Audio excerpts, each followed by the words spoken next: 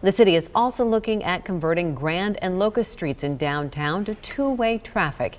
City Council voted to approve nearly $330,000 for an engineering study.